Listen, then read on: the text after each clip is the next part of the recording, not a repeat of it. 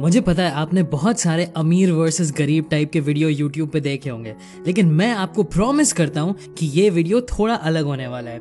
मैंने बहुत सारी बुक्स पढ़ी हैं इस टॉपिक पे, और मैंने बहुत सारे इंटरव्यू सुने अमीर और सक्सेसफुल लोगों के, और मैंने पाँच चीज़ें समझी हैं जो अमीर लोगों को गरीब लोगों से अलग बनाते हैं। लेकिन ये वीडियो अलग इसलिए होने वाला है, क्योंकि इन पॉइंट्स के अलावा, हर पॉइंट के एंड में मैं आपको बताऊँगा एक प्रैक्टिकल टिप कि आप इन चीज़ों को अपनी लाइफ में आज कैसे अप्लाई करना शुरू कर सकते हैं। Hey guys welcome back to live Gyan और चलिए सीधे वीडियो शुरू करते हैं। तो पहला पॉइंट है कि अमीर लोग टाइम को पैसे से ज़्यादा वैल्यू करते हैं।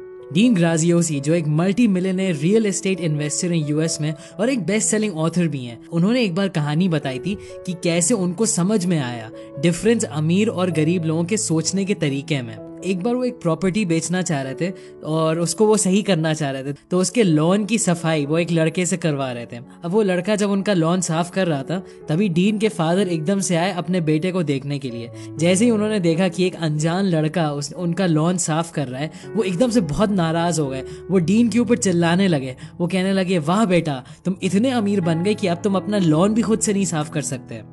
और उसी टाइम डीन को समझ में आया डिफरेंस उसमें और उसके पापा के सोचने के तरीके में। क्योंकि बात तो ये थी कि डीन के पापा भी एक बिजनेसमैन तो थे, लेकिन वो इतने सालों से बिज़नेस करते आ रहे थे, तब भी वो अमीर नहीं बने। डीन के सोचने के तरीके में और उनके पापा के सोचने के तरीके में अंतर ये था कि डीन को टाइम की वैल्यू पता थी। उनको ये पता था कि 20 डॉलर बचा के अपना टाइम वेस्ट करने से अच्छा है कि वो एक घंटा अपना बचा ले और किसी और को वो काम दे दे। बीस डॉलर तो बाद में भी कमाए जा सकते हैं, लेकिन वो एक घंटा आपको कभी वापस नहीं मिलेगा। तो मेरी प्रैक्टिकल टिप आपके लिए ये है कि अपनी लाइफ में ऐसे एरिया ढूंढिए जिसमें आप अपने टाइम का बेहतर यूज़ कर सकते हैं। मैंने काफ़ी लोगों को ये गलती करते हुए देखा है कि वो एयरपोर्ट या स्टेशन पहुँचेंगे, वो 20 मिनट बाहर टहलेंगे 10 मिनट ऑटो वालों से बहस करेंगे, सिर्फ़ इसलिए ताकि वो सौ रुपए बचा पाए। जबकि वो बड़ी आसानी से ओला या उबर करके घर जा सकते थे, बस थोड़े और ज़्यादा पैसे देने होते हैं। जब भी आपकी लाइफ में इस तरह के डिसीज़न हो तो आपको अपने आप से पूछना चाहिए कि अगर मैं घर जल्दी पहुँच गया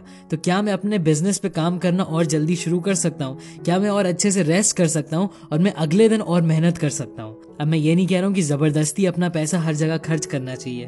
मैं बस ये कह रहा हूँ कि आपको कभी कभी समझना चाहिए कि कहाँ आपका टाइम आपके पैसे से ज़्यादा वैल्यूबल है। दूसरा पॉइंट है कि गरीब लोग एक्सक्यूजेस ढूंढते हैं हारने के लिए और अमीर लोग एक्सक्यूजेस ढूंढते हैं जीतने के लिए।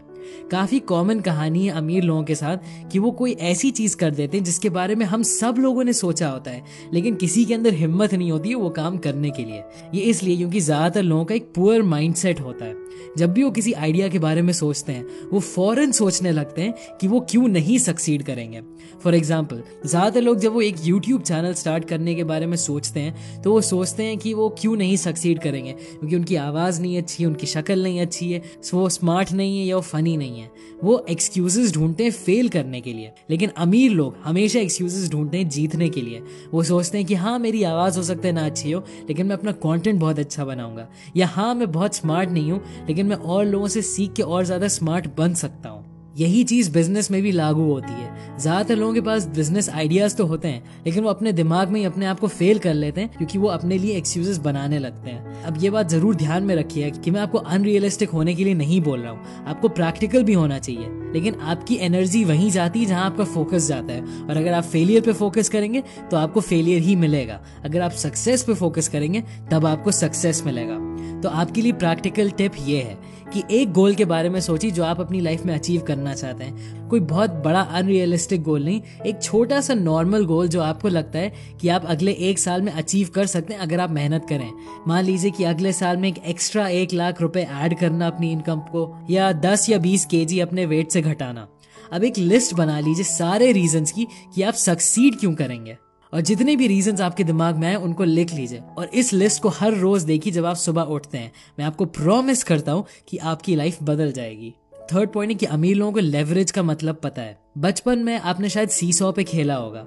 जो एक रॉड होता है, उसको लेवर बोला जाता है। और आप एक साइड पे बैठ सकते हैं और दूसरा साइड वाला इंसान ऊपर उठेगा अगर आप उस इंसान से भारी हैं। अब मैं यहाँ पे आपको फिजिक्स सिखाने नहीं आया हूँ। मैं बस आपको ये समझाना चाहता हूँ कि जिस तरीके से आप अपना वेट यूज़ कर सकते हैं, किसी को सी सौ पे हिलाने के लिए, उसी तरीके से आप अपनी स्किल्स को यूज़ कर सकते हैं दुनिया को हिलाने के लिए।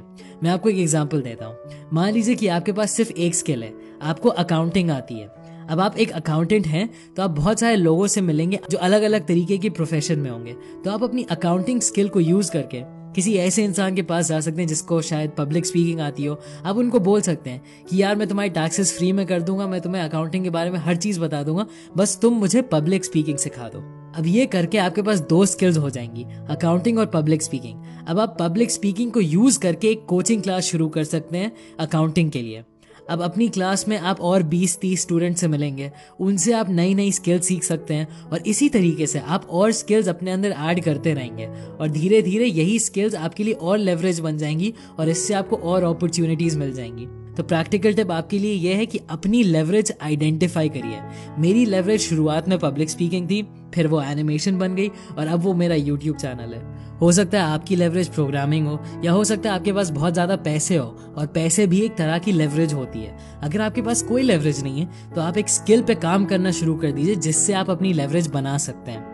अगला पॉइंट है कि अमीर लोगों की पैसिव इनकम होती है। देखो, सच बात तो ये कि ज़्यादातर अमीर लोग एक सैलरी के लिए नहीं काम कर रहे होते हैं। उनकी हमेशा किसी ना किसी तरह की पैसिव इनकम होती है। उनके पास ज़्यादातर टाइम एक ऐसा बिज़नेस होता है, जो बगैर उनके काम करे भी उनको पैसे कमा के देगा। पॉइंट तो ये है कि हम सब लोगों के पास 24 घंटे ही हैं दिन में, और मैक्सिमम हम लोग 10 घंटे एक दिन में काम कर सकते हैं। और मान लीजिए मैक्सिमम हम लोग दिन में 10-12 घंटे ही काम कर सकते हैं। तो जब तक आप सैलरी के तौर पे अपने टाइम के एक्सचेंज में पैसे कमाएँगे, तब तक आप अमीर नहीं बन पाएँगे, क्योंकि आपके पास लिमिटेड अमाउंट ऑफ़ टाइम है। अब मुझे पता है काफ़ी लोग कुछ एग्जाम्पल्स देंगे, जैसे सुंदर पिचाई, कि देखो, इसकी तो इतने करोड़ों की सैलरी है। देखो, कुछ एक्सेप्शन होते हैं, लेकिन ज़्यादातर अमीर लोग अमीर इसलिए बने क्योंकि उनके पास ऐसे बिजनेसेस हैं जो उनके बिना भी काम करते हैं। अब पैसिव इनकम का बेसिकली मतलब ये है कि आपको बगैर कुछ काम करे पैसे मिलेंगे।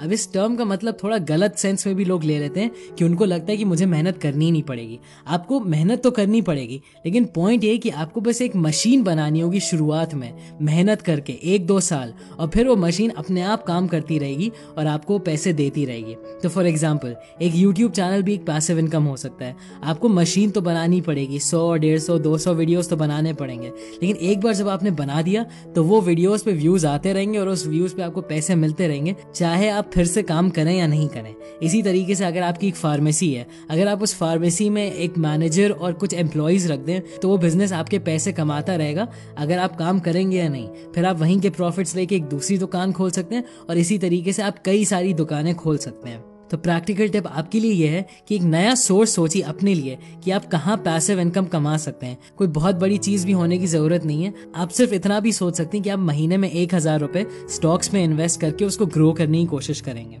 लास्ट पॉइंट है, गरीब लोगों को अमीर दिखने का बहुत शौक होता है, लेकिन अमीर लोगों को असली में अमीर बनने का शौक होता है। काफ़ी लोग होते हैं जिनकी बहुत ज़्यादा सैलरी भी होती है, लेकिन तब भी उनके पास कोई इन्वेस्टमेंट्स नहीं होते और बैंक बैलेंस उनका ज़ीरो होता है। वो इसलिए क्योंकि उनको फ़र्क पड़ता है कि वो अमीर दिखते हैं या नहीं। तो वो सारे पैसे खर्च कर देते हैं अच्छे कपड़ों पे और लेटेस्ट आईफोन पे। एक अमीर माइंडसेट वाला इंसान, उसको फ़र्क नहीं पड़ता कि वो अमीर दिखता है या नहीं। वो अपना पैसा अच्छी तरीके से इन्वेस्ट करता है और फिर उस प्रॉफिट से वो थोड़ा बहुत लग्जरी खरीदता है। अब मैं ये नहीं कह रहा हूँ कि एक आईफोन आपको नहीं खरीदना चाहिए, अगर आप उसको अफोर्ड कर सकते हैं। लेकिन सिर्फ़ शो ऑफ़ करने के लिए ये काम ना करिए। तो प्रैक्टिकल टिप आपके लिए ये है कि अपना पैसा किसी भी चीज़ पे खर्च करने से पहले ये सोचिए कि आप उसको खरीद रहे हैं शो ऑफ़ करने के लिए, या आप उसको खरीद रहे हैं इसलिए क्योंकि वो चीज़ आपको सच में दिल से चाहिए। इस वीडियो के लिए बस इतना ही। मैं होप करता हूँ ये पॉइंट्स आपके लिए प्रैक्टिकल थे और आपको हेल्प करेंगे। प्लीज़ उस लाइक बटन को क्लिक करिए अगर आपको ये वीडियो पसंद आया और सब्सक्राइब ज़रूर करिएगा इसी तरह की लाइफ इंप्रूवमेंट के वीडियोज़ के लिए। अभी के लिए बस इतना ही एंड थैंक्स फॉर वॉचिंग